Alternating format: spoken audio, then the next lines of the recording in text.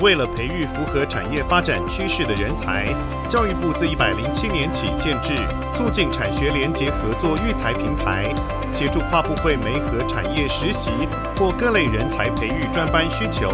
并推动厂商与技职校院办理产学合作。身为产学联结执行办公室的北科大，负责塑胶、橡胶产业领域，透过企业与技专校院共同培育业界所需人才。我们呃希望呃有效的带动产学合作，那么我们也盼望吸引更多的产业及早的投入人才培育的规划，不管在软体在硬体的资源上面的投入，使人才的培育及留用就业，形成互信互赖的长期合作关系，创造学用多赢。模具产业是我国重要基础工业，也是大多产业供应链不可或缺的一环。为培育各技专及技高的模具工程师人才，大种资讯科技股份有限公司授权软体供给各校教学使用。大种资讯这一次透过的计划是抛砖引玉，也希望呢号召更多的企业对台湾的教育界的多的一点关注以及投入。教育是我们台湾未来的发展的根本。对台湾的竞争力的提升是扮演火车头的角色，所有的台湾的企业应该全力支持教育发展。为了因应工业四点零的到来，工厂智慧化管理，透过管理分析，将企业资源与行动管理相结合。黑云信息技术股份有限公司提供企业资源规划系统 （ERP） 及工厂营运管制系统 （MES App），满足大小企业的工作需求。使得管理更为简单明了。我们的软体啊，是从我们自己工本身的工厂啊做的，不是一般的软体公司软体做给工厂用。啊，我们是自己先开工厂，用手机 APP 就可以看到怎么样管理整个工厂。我现在人在外面开会，我就可以知道我工厂目前现在的状况。所以这个非常适合管理学院。那我希望抛砖引玉，然后带领台湾跟其他企业能够一起捐赠教育部。为台湾加油！台北科技大学针对产业人才需求，链接全国二十七所技职校院相关科系，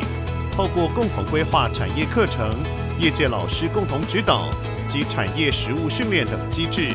缩小学用落差，可提升学生产品设计及工厂营运系统的操作能力。企业大方的赞助学校，那其实这样子及早把这个。产业端人才需求面向的东西，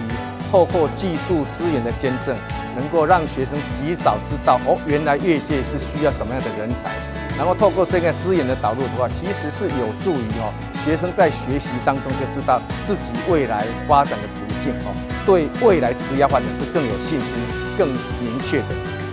高职其实要往技职往产业端去发展，才会有出路。如果产业端的需求。把这些人数、这些需求的一个技术，能够告诉我们科技大学端，那通过科技大学端再往下延伸到高职端，让他们真正了解人才的需求，所开的课程所得到的一个技术资源，能够来自于产业，那未来他们毕业后就能够直接就业，所以对我们的技职生是非常有大的一个帮助。我们的同学经过这样系统的这个实作经验以后。将来在新的时代，不管在生产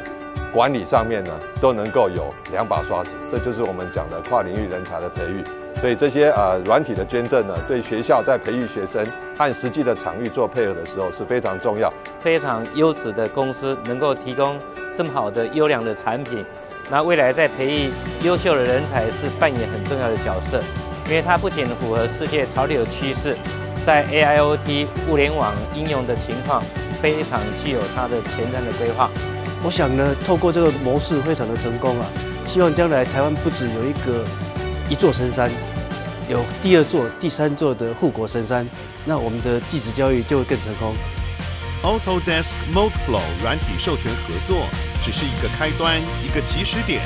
未来仍需要仰赖学校老师的教导以及学生的认真学习，才能达成大家的期待。一起为台湾的产业升级、数位升级努力。